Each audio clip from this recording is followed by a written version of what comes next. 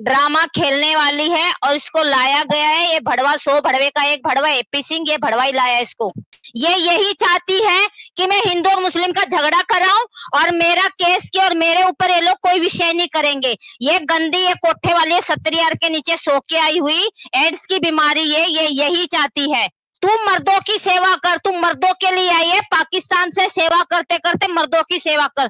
तू गाय माता की सेवा मत कर कोठे वाली और ये भड़वा वकील है ना एपी सिंह। दो दोगला इंसान, भड़वा कहीं का, सो भड़वे का एक भड़वा। ये हमारे भारत में हिंदू मुस्लिम कर रहा है। क्या भड़वा कहीं का अपनी वकालत लड़े ना? केस मज़बूत करे। गोरी का अगर तू है तो अपनी वकालत करे ना। ये हिंदू मुस्लिम का क्या है? ये भड़वा एपी सिंह, सो भड़वों का एक भड़वा ये। ये भड़वा सो भड़वे का एक ये भड़वे की पैदा से ये पी सिंह ये घर पे तो नहीं जाता अभी इस, इसको व्हाट्सअप चैट करके भेजता है व्हाट्सअप पे लिख लिख के भेजता है। ये गिरे हुए लोगों के, ये सो भड़वे का भड़वा ये एपी सिंह के पास, यही मुद्दा है। और ये हर हर, जब ये मोमी वाले कुछ नए नए कारनामे करता है, कुछ नए नए सबूते देता है तो ये कोठे वाला, ये भड़वे का, सो भड़वे का एक वकील एपी सिंह ये यही हिंदू मुस्लिम करता है। अरे भड़वे, तू आज जाग रहा है क्या? बुढ़ा हो गया तू भारत में, तेरा बुढ़ापा आ गया। आज तेरे को गौ माता की सेवा करने की, भाषण देने के लिए हुए। उस दिन तक से तू तो बोल रहा था, हैदर का तलाक हो गया, हैदर चार साल पहले छोड़ के जा चुका था।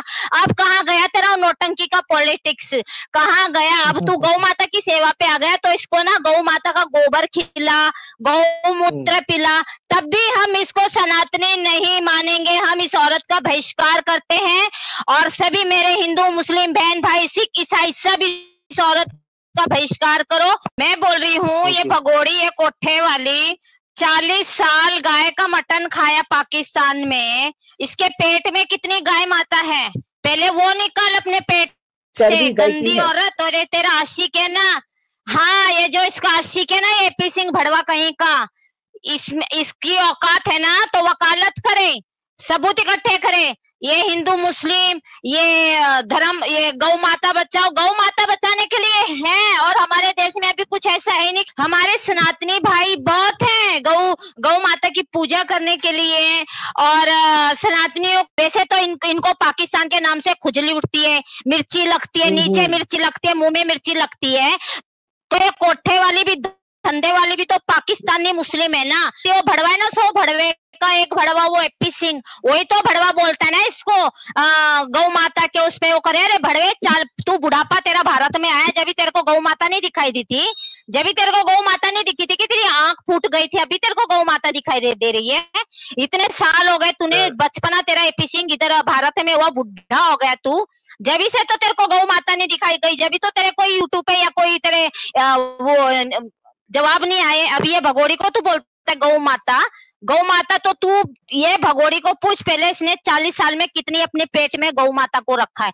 कितना खाया इसने? वो पूछ पहले से तभी तू हम लोग को इस गंदी औरत को बोलने के लिए बताने का और हमारी गौ माता हम हम जानते हैं हमें कैसे उसकी रक्षा करनी है और बल्कि मेरे देश में गौ माता की पूजा होती है। कहीं भी ऐसे गौ माता की जीव हत्या नहीं होती है। जो ये आप एक चीज़ सोचो जो मुद्दा ही नहीं था भारत में इस गंदी औरत ने इस भड़े हुए वकील ने वो मुद्दा खड़ा किया है। ये भड़वा जो सो भड़वे का एक भड़वा ये एपी सिंह इसको दिखाई नहीं देता।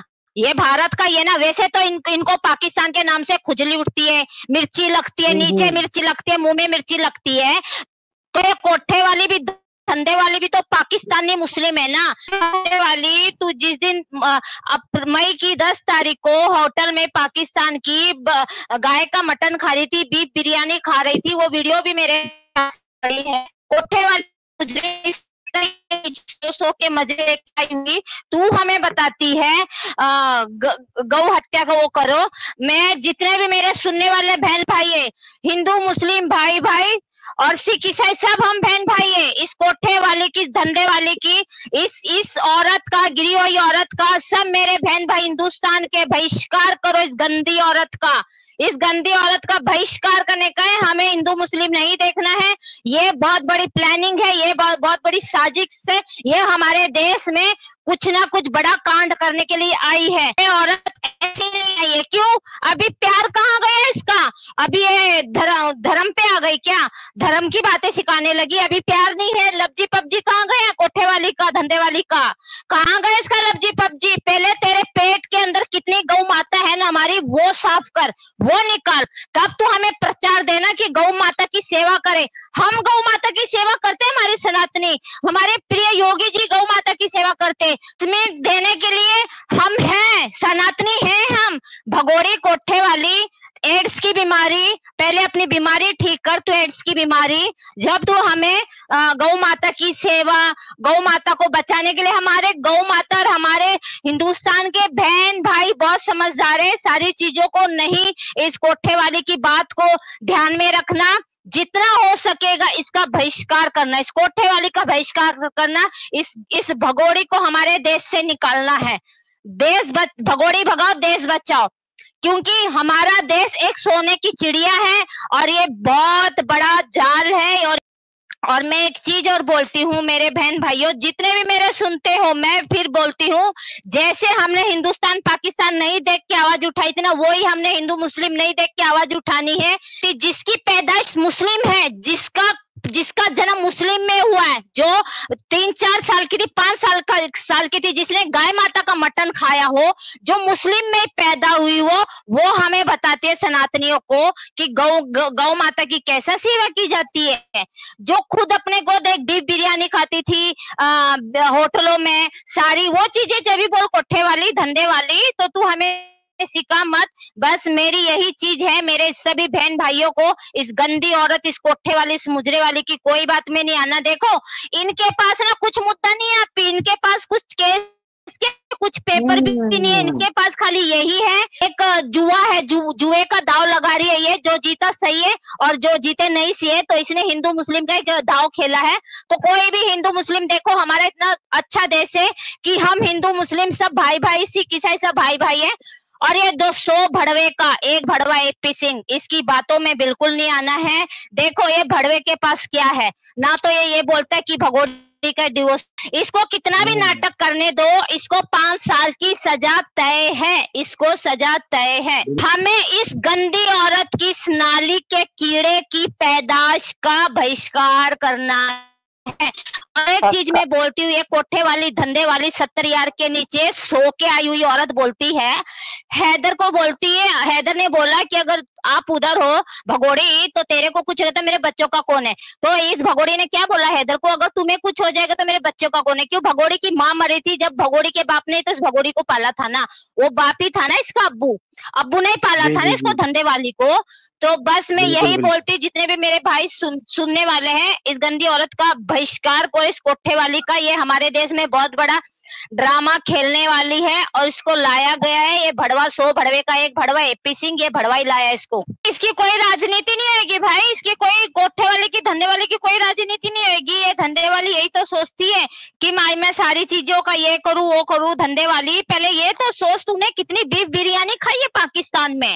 होटल की दिखाओ पाकिस्तान में तेरी होटल की काला टी शर्ट पहनी है बीफ बिरयानी की प्लेट रखी है वीडियो बना रही है। वो दिखाओ तेरी बीफ बिरयानी की मई की दस तारीख को भी तू बीफ बिरयानी खा रही है और तू हमें बताती कोठे वाली धंधे वाली तेरे पेट में तो चालीस साल चालीस साल की, पैंतालीस साल तू पाकिस्तान में रही तो तूने कितनी बीफ बिरयानी खाई है? तेरे पेट की, पेट में तूने कितनी हमारी गौ माता की हत्या कर करके खाई है?